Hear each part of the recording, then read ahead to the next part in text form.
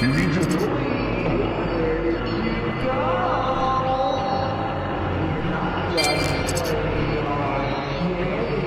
to me. You need to destroy these tapes. You need to get out of here before the...